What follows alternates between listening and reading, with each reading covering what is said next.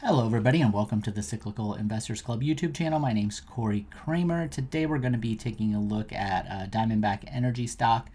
This one came in by request down in the comment section of one of my other videos. If you have uh, a stock you'd like me to take a look at on the channel, just put it down in the comment section. I'll get the ticker on the whiteboard behind me, and eventually I will make a video. Um, if it's a stock that's in the S&P 500, I post those on YouTube for free. The rest I post on Patreon and in the full Cyclical Investors Club service over on Seeking Alpha. Um, I'll have links for those down in the description. Um, the Patreon's $5 a month, and you get a big discount um, if you're a member there to if you ever decide to join the full Cyclical Investors Club service.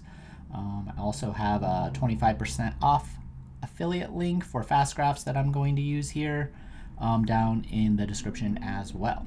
As always, this isn't individual investing advice, it's just how I analyze stocks. So let's get into Diamondback Energy. So I don't have, um, this doesn't really fit the normal type of deep cyclical analysis that I would do um, because there isn't quite enough information from the historical earnings. So the first thing that I always look at is how ma- how much information do I really have in terms of historical data because that usually tells me the most about that gets me about 80% of the way there to what the future might look like and to how I can kind of gauge how this business might perform over the medium term of say like 5 years or so.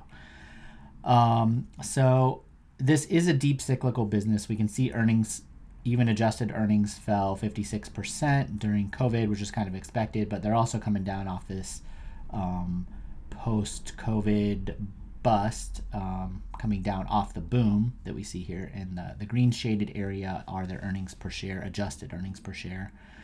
Um, I like to go back and see, especially with oil companies, what they did. Um, really, the past 20 years, so we can see what they did in 2008 during the big oil spike. And then for a fracking business, we you could kind of see what they did in 2012 when that kind of started peaking 2012 to 2014. Um, and you can kind of see what happened there, and it can kind of give you an idea of what could potentially happen in the future, how it follows kind of the general pattern that I would see with other similar companies. And then that I can kind of just look at that really quickly, and it can tell me a lot about kind of what to expect. I don't have all that information here because I only have data that goes back to 2013. So usually, because there are other energy companies, you know, and oil producers, um, E&P, um, I would probably just kind of put this one off to the side personally. Now, I I am long um, Oxy, I made a video on Occidental Petroleum. I made a video on that. I like that one a little bit better because we do have Buffett buying and basically putting a floor in the stock. Um, he's certainly going to be a long-term investor. And I go in that video kind of the bigger picture things um, that I would think about. And I do think this is probably an area of the market that's at least fairly valued here. But oil is very difficult to try to like predict. So when I have a situation where something's really hard to predict, usually I try to buy it when I know we're in a down cycle. Um, so oil is what like I haven't checked it today or whatever, but in the 70s dollar range. I don't think it's going to get too far below that in near term because we need to refill the strategic petroleum reserve. We have global oil tensions.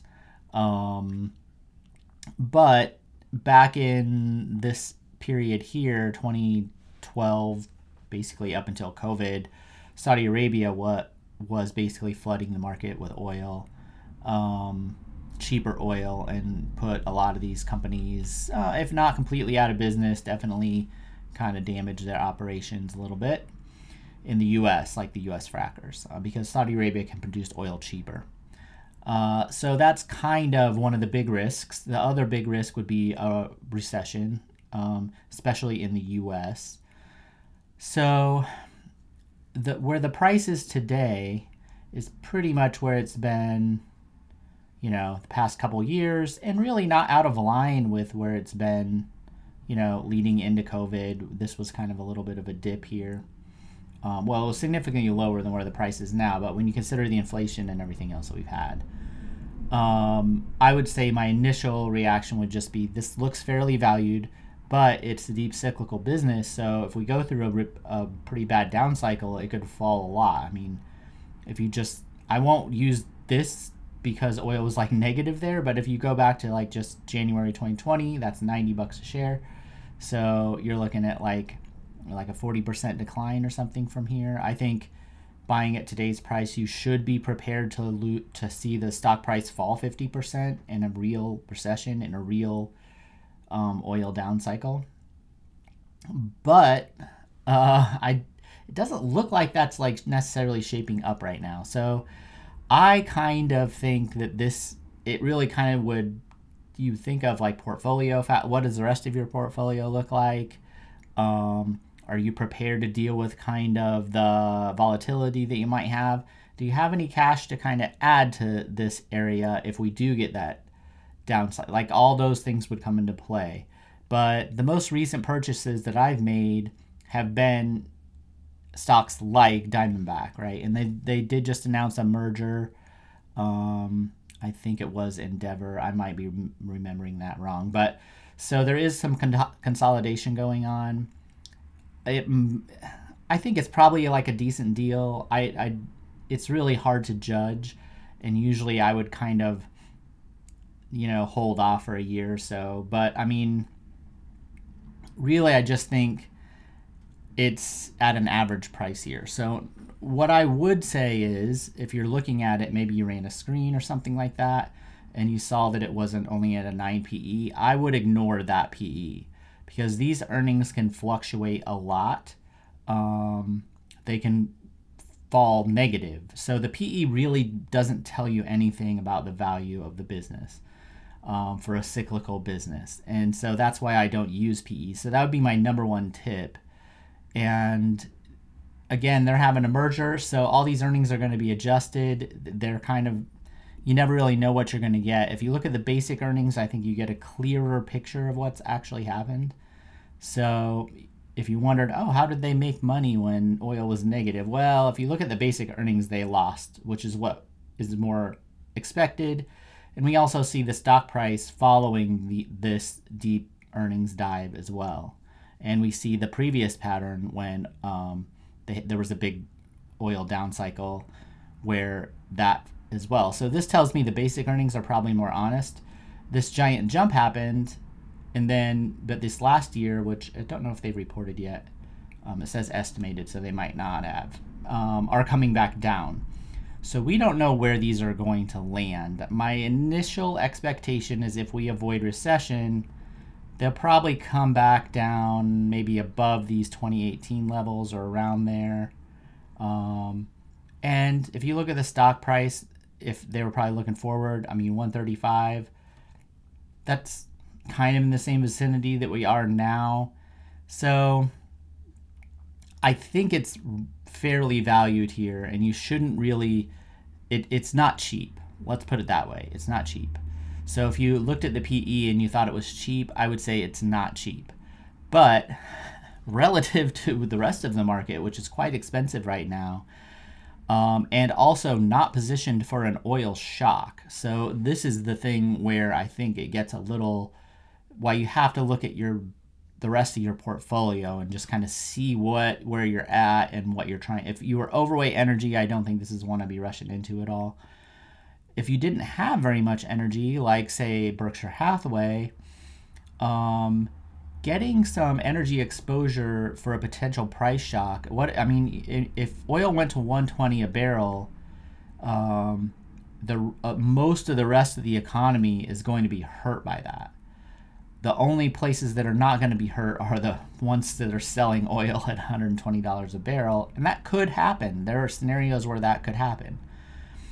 So there's a little bit of kind of insurance there balancing. And if you got a big spike, I own a couple of these. I don't own this one. Um, but if I got a big spike in some of them in that situation, I could take profits and it could offset some of these losses that I was getting elsewhere, or I could sell in those profits and invest in maybe some stocks that get hurt during a situation like that.